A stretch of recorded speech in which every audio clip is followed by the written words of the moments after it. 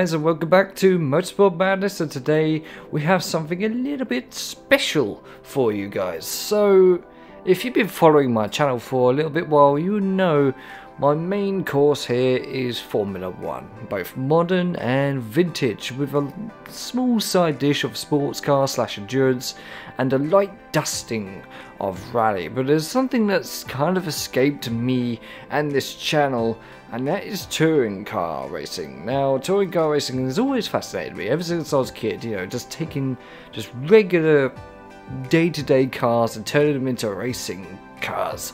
So I thought I'm just going to give this a little go. Now, just before Christmas, I downloaded a nice mod pack, uh, which is available by Bazza on THR Racing, and I decided to just have a little go in a uh, couple of cars around Goodwood, and actually, I was very surprised how enjoyable the experience was of just driving these cars around Goodwood, and it was just like, wow, okay, this could be fun. So I decided to do a little race with all these cars. Now, not all of them. Some of them were, um, you know, not of the era of this video. So I've decided to kind of have the 1960s uh, cars here. So we've got Lotus Cortinas, Mini Coopers, Austin Healey's, a couple of Jaguars, and MGB GTs with us on this grid. We've actually got 22 cars. I have no idea how this is going to go. I've never actually done a race in these cars before, so I'm going completely into uncharted territory. Normally, when I'm doing a video, I know exactly what to to expect, kind of. Uh, but here I have no idea. And uh, of course, if you saw my latest post, you've seen I downloaded a certain simulator called Grand Prix Legends, and you probably expected that to be the next video. But, um, you know, it takes a little bit of uh, practice, and uh, I have to say, I'm not quite up to the standards of racing other cars right now, so maybe this weekend you'll get a video on that. I'm, I'm not too sure. But we're here anyway at Brands Hatch. Uh, we sort of chose the 1964 season and um, to to pick our track. So Brands Hatch, we haven't featured it for a while, and it's always fun to race here. I've never had a bad experience here, and uh, it was of course the year Jim Clark uh, won the Touring Car Championship, and uh, alongside obviously racing in Formula One. So back then Formula One drivers just go off and do whatever they liked. Obviously, Formula One calendar was a lot less busy than what it is now, so it allowed a lot of drivers to go and explore other classes. But that'd be cool if that still happened, you know, just seeing, I don't know, Max Verstappen just going off and competing in Le Mans and you see Lando Norris at Brands Hatch in a touring car race. That'd be awesome, but that's just never going to happen. So anyway, we've got a short race to do here. We've only got seven laps, which should be around 15 minutes. So, I don't know what else to say. I've set my grid position to random as well, so I have no idea where this is going to actually put me, but we'll find out. We'll find out. So let's head to grid and get this race underway. So here we are on the grid at Brands Hatch, and I've got to say, this is looking stunning. I've set the uh, time to be sort of late afternoon so that the sun's setting and everything looks really, really gorgeous. And uh, like I said, I put this thing uh, to set me to a random grid grid spot, and it's put me 20th. Thanks, Assetto Corsa, thank you so much. So we've got a bit of work to do here, and um, oh, Got Lewis Hamilton in that uh, Mini Cooper. You, you see that? Yeah, anyway.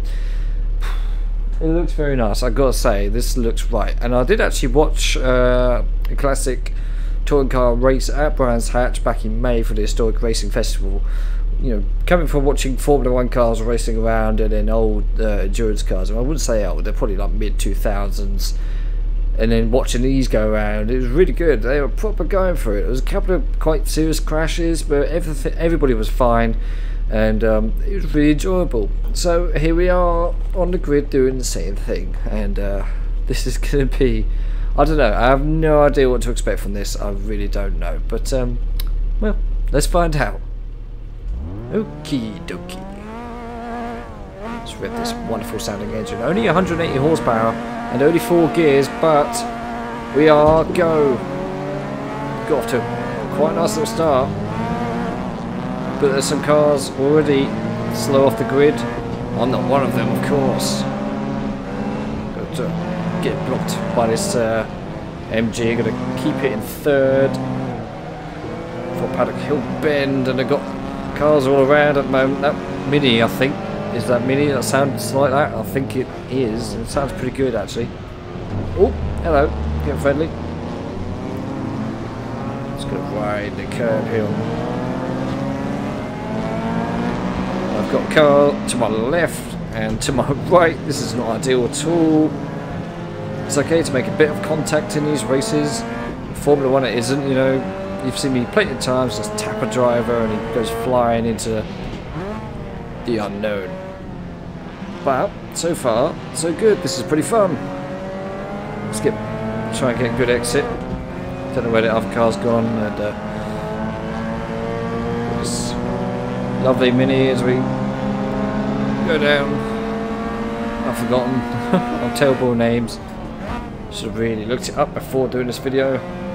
Down to third. That mini's still right on my rear, but luckily we're now ahead of him. So pretty good actually. Uh, but looking at the way these cars are just throwing themselves about, I think the physics on these cars have done really well. I can feel this Cortina that I'm driving swaying from side to side with every increment of steering wheel usage. I was going to keep it all nice and calm and measured, but screw it. Let's go for the win.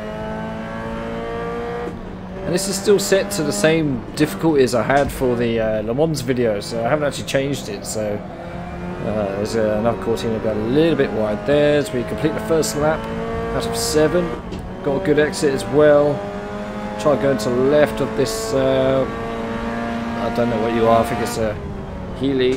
Yeah. Look at the way that Cortina's just moving around. Look Leclerc. Who? Is this Leclerc on the back of the car? Is he here? Decided to take a break from uh, Formula One there. It does say Leclerc. Obviously it's not Charles Leclerc, but let's try and whip it into the inside here. And it worked. Now this feels like pure racing, I'm not gonna lie. Because this is just car and driver. No fancy aerodynamics here, no No ground effect, no DRS, no no driver aids of any kind. This is just pure racing and it feels like it.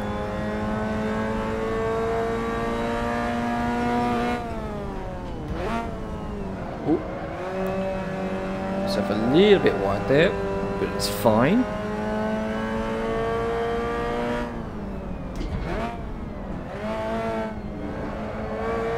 Don't know why I went down second. It's a really light second gear, this car.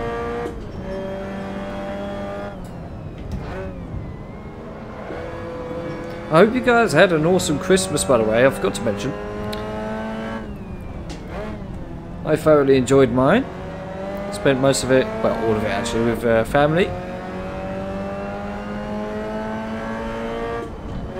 Hope you all got some nice motor racing goodies as well for presents.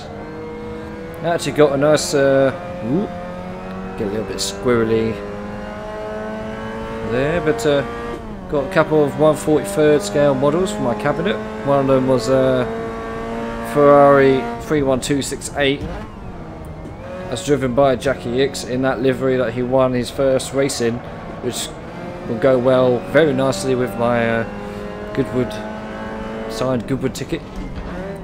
And I also got a uh, 143rd Mazda 787B. Hello, minute. What are you trying to do? Go away.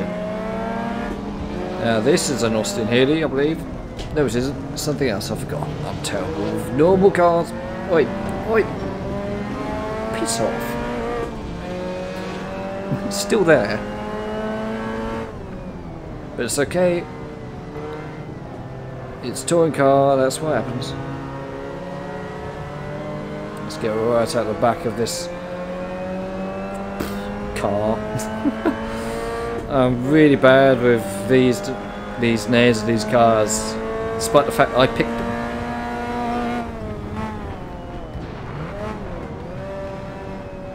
But Formula One cars, I'm like, yeah, that's uh, such and such. Sports cars, yeah, that's pretty much uh, such and such. But these guys, I'm, I'm really just don't know. I think that's Cortina. I'm basically calling everything a Cortina, I think. I wonder if this is, uh, if that was Leclerc somewhere behind me. This is must be Carlos Sainz. We'll find out. I haven't actually looked at my, um, I haven't actually looked at my uh, pit board at all. I've got a couple of cars behind us. They look to be faster than me. Oh god, what's going on here? How are we going to get through this little thing? Oh, he's getting a bit wide, isn't he? Getting a bit friendly like Cortina. So I have to actually look at the back of these cars to identify them. Where do we go? Where do we go? Let's get to the right here. So, so we've got Gary in front. And I'm in P11, so that's pretty good. And I'm really enjoying this. this is really fun, just like that truck racing video. I thought I did say 55 there for a second for Gary, but no, 955. But uh, yeah, just like that truck racing video I did. That was really fun and enjoyable. But when I was doing practice in this car a minute ago, just to get a feel for this thing around here, it just felt so slow in comparison to what I normally do. Oh, Gary Townsend, hello. It felt so slow, I felt like I was just going on a casual drive. You know, I'm so used to driving Formula One cars around here. In fact, the other day I was taking a. Um, what was I driving around here? I think it was a McLaren before Dash One. I think. I don't know that that era, 90 sort of early 80s. Just you know, just get some ridiculous times. Oh, there's a bit of contact here. Uh, a little bit slow. Can keep it third. always diving for the... No, it's not. You are not doing that here. No, sir. Forgot to change gear, but we're here anyway. Makes a change, just drive these lovely cars and like I said, this is really fun and it feels like the AI is actually proving to be a little bit of a challenge. Now this is a Cortina, it says so in the back. Okay, come on in. Let's see what you're made of. Who's going to break the latest? Ooh, Maxime. Is that just a budget Max Verstappen?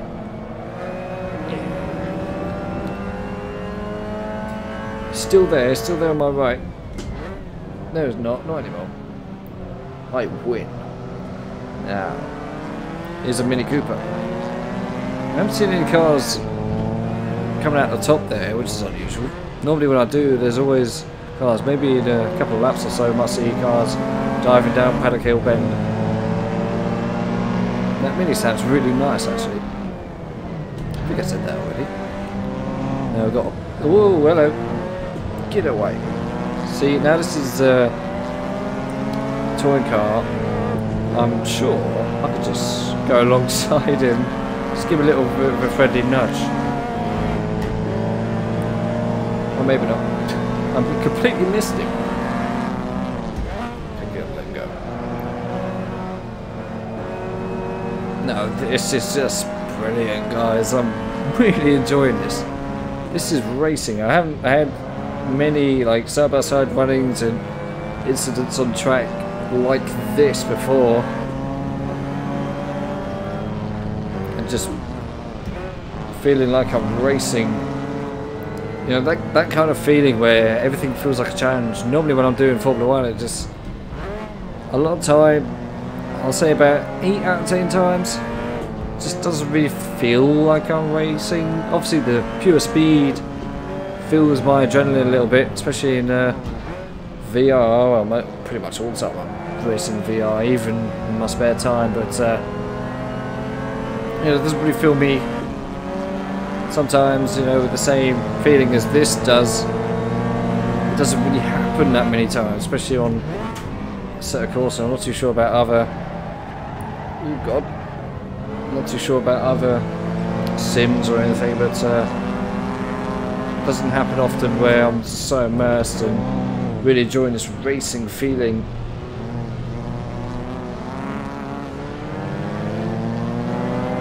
God, I'm stuck here. Don't really want to be here, but we're cool. We're cool. We're cool. Yeah. No. this is brilliant. Look at the determination on his face. He's determined to, to, to stay with me. Will he hit me again? He's right there, look. Look at this maniac. I've won. What was I saying? But yeah, this is just really good fun.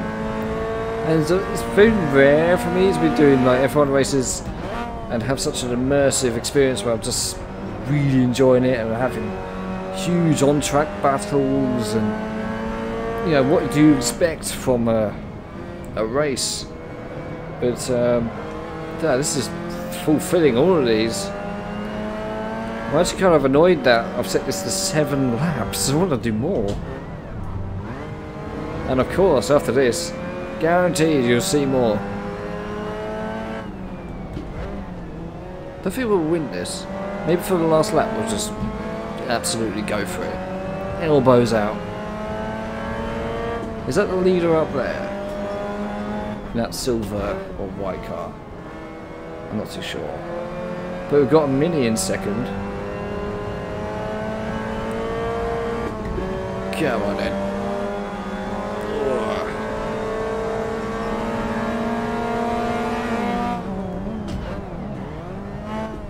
Oh, no, no, no.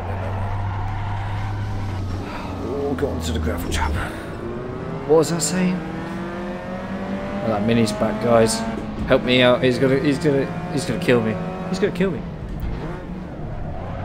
Went a bit too wide there as well. Now I'm making mistakes.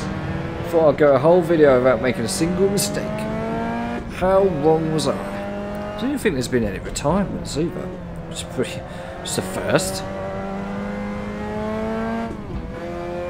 Yeah, that's definitely an MGB GT behind me. I know that because that's probably one of the classic cars that I would love to own if I had the money. So I know the shape of them. I've seen plenty of them. In the UK, they're just everywhere. Well, I say everywhere, in every sort of classic car meet or whatever, they're always there. All onto grass a bit. That's the first. Never done that before. What's happened to me?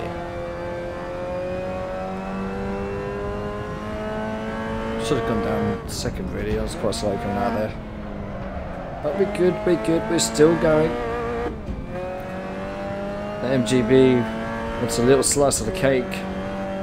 Keeping a close eye on him, making sure he doesn't slam into my arse. Racing never felt this good. Maybe I should do like a little mini like season of this. A little mini series. Would you guys like that? It's classic touring car season.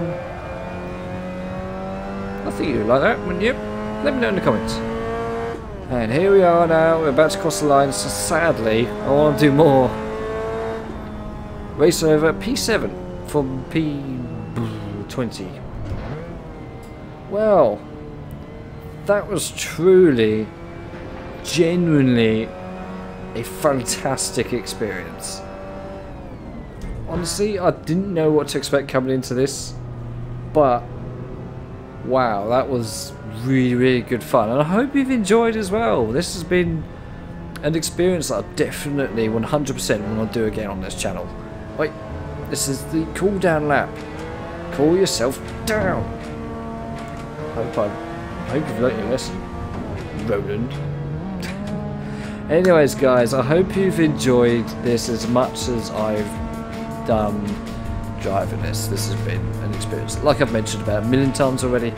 And uh, so, if you have enjoyed, I'd appreciate you leaving a like on this video and commenting as well. What was your favourite part? And definitely let me know if you want to see more British touring car action. I might even try out some modern stuff, you know, British touring car or even DTM. I think that'd be pretty fun. There's, um, you know, I've always wanted to try those out. So, um, yeah, so if you're new as well, subscribe. Um, actually, just before I go, I'm going to mention a few things with the channel uh, in the future. Obviously, we're approaching a, uh, a year on YouTube for this channel, and uh, there's a few new updates with you know, refreshments coming to this channel in the future. I've actually recently acquired a green screen uh, what could I be using a green screen for? Well, you'll, you'll find out. Maybe in season 3 of HF1. Hey, hey, wink, wink, wink, wink. And uh, I'm also looking at doing a giveaway uh, for when we reach a year on YouTube. Uh, just a small one, not a major thing, but um, I'll post more details about it uh, in coming videos and posts on my community tab. So yeah, that's something. What are you breaking for? But yeah, that's something to look forward to. I'm actually really looking forward to the future of this channel. And uh, so yeah, if you're new, subscribe and check out some of my other videos as well. We've been doing very, uh, with yeah, getting really popular. For God's sake, Let, right. Don't have a horn. What are they doing? Yeah, I've been. Um, noticing a lot of views coming through lately, so I really appreciate the support. And uh, yeah, until the next time, guys, which will be this weekend as usual, I hope you have an awesome week, and I'll see you in the next one. See you later.